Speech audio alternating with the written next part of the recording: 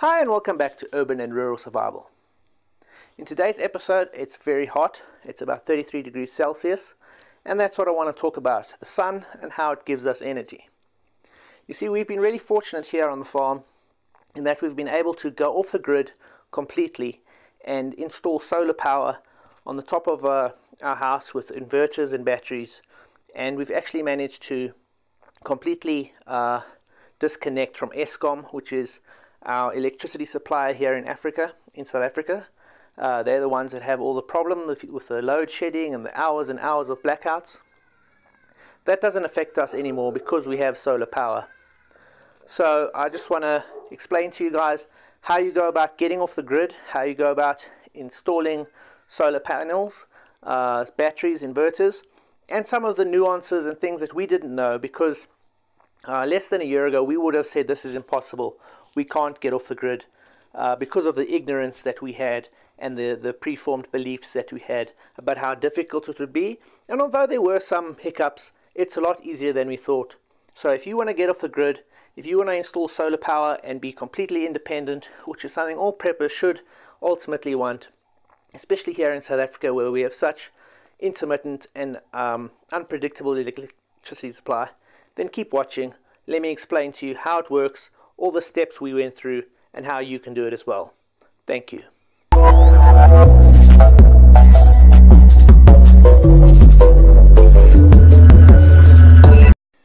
We've been staying on this farm here basically my whole life, so over 30 years. I moved here when I was a year and a half, and I don't really remember anything else. Uh, we've always had Eskom on the farm.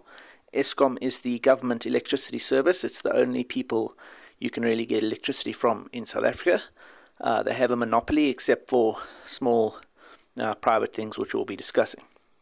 So we always had good service with Eskom, and even when we disconnected, uh, up until that time, the technicians that would come and uh, fix the transformer or uh, some of the phases that would go down, especially during after lightning, they were always very efficient. They would come like in the night. They were really professional guys. The reason we uh, then switched away from Eskom actually had nothing to do with their service as such, uh, although the load shedding that has become a feature in South African life did affect us, and obviously it gets worse all the time. But we've had generators, we've had some backup batteries and uh, transformers, those kinds of things, inverters. Um, so we've never had a problem in that sense. The only reason we went off Eskom and completely disconnected off from the grid and went with solar was because of cost. And what I mean by this is that the Eskom bill was always going up no matter how much or how little electricity you used. So our bill would often be around 5,000 Rand a month and of that 5,000 Rand, only about 800 Rand would actually be for the electricity usage.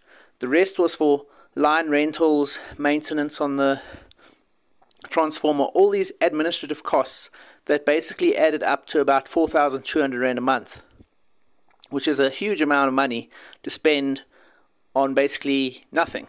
Um, so this was just going up and up all the time, up to the extent where we were thinking, you know, it may not be affordable to keep the farm, and that's something I would re- never really want to consider because this place is my life. But uh, there is a solution, um, and the solution was solar. So we got a good access to some capital, and we had a number of people come in and do quotes for us, uh, guys from solar companies. Some of the quotes were really high, up to like 400,000 Rand. And then eventually we settled on this company that we have had install our solar equipment, and that came to about 150,000 Rand in total. Um, so then let me walk you through how you go about disconnecting from Eskom and how you go about installing solar or having solar installed so that you can be completely off the grid and completely self-sufficient. We actually got a call from our neighbors the other day. They had asking us if uh, we had power because they had no electricity and they hadn't had electricity for 12 hours because of some other error, some other fault line. We said, oh, sorry, man, we don't know. We're on solar. We've always got power.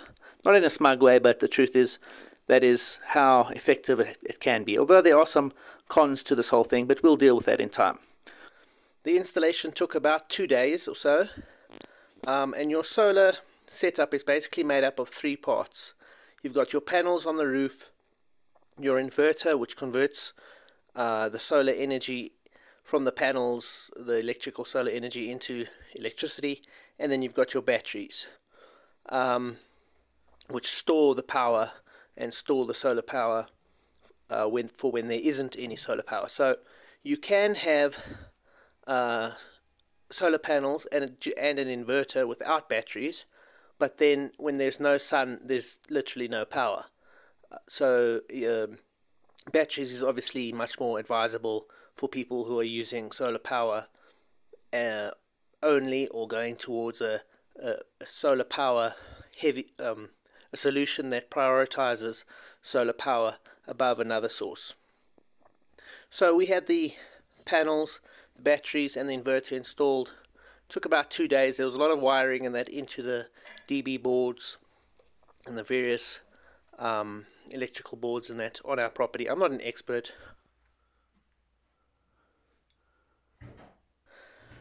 Um, so once we had it installed and it was set up and it was working, everything has been going smooth since then. But like I said, our original intention was to go from people who are paying for this three-phase electricity on the plots, which is really expensive with this enormously high maintenance bill and service bill and line charges that just keep going up and up and up that cost considerably more than the actual electricity. We wanted to go from a three phase.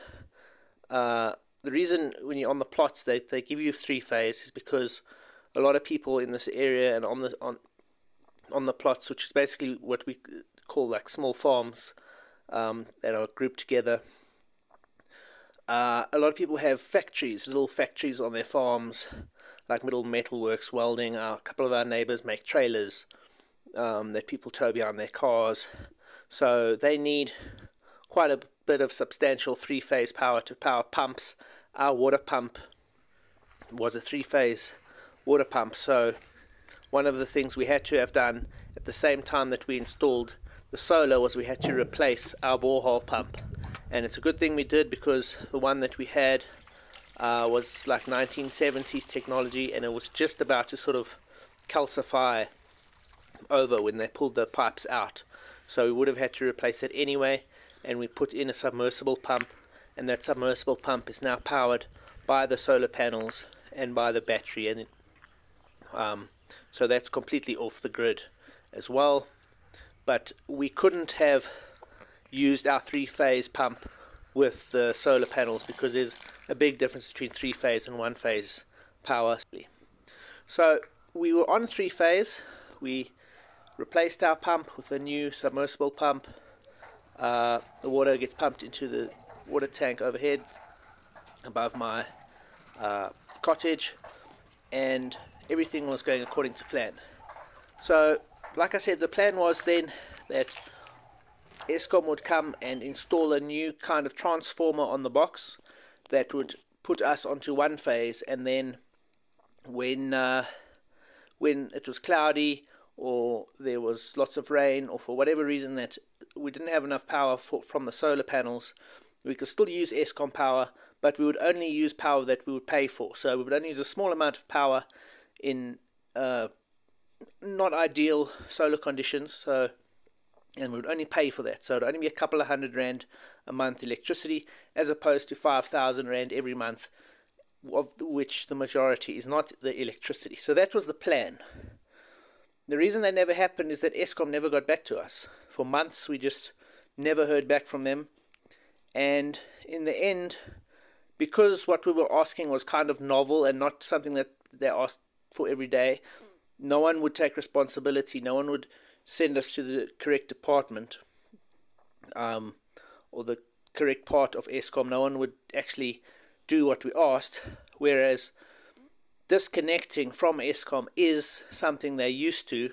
There is like a, uh, paper, there's paperwork for that, basically, to put it into a shortcut. You know, so if you want to disconnect from the grid, there's a process for that. You just start the disconnection process, you pay a fee, they disconnect you, and you're off the grid. Whereas trying to go from three phase to one phase, it was just too complicated for them. They never got back to us. So they lost the customer by their own incompetence. We would still be Eskom customers if they had just used a bit of intelligence and a bit of initiative. But instead, we completely disconnected from the grid. We rely we 100% on the solar panels.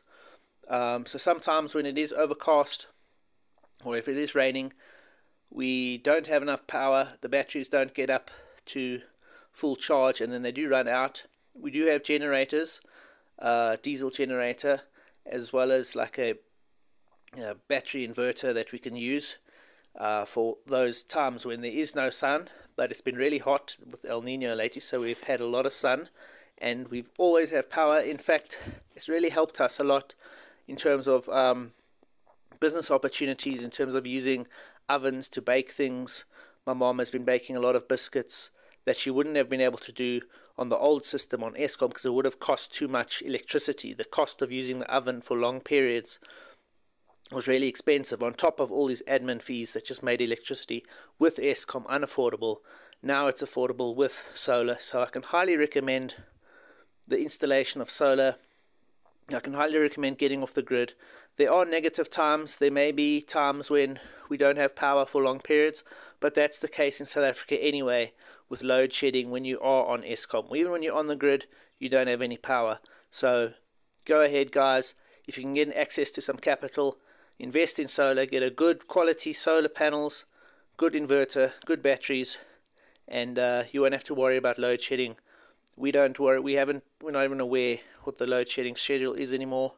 It doesn't really affect us. So if you like this video or if you found it interesting, please like and subscribe, and I'll see you on the next one.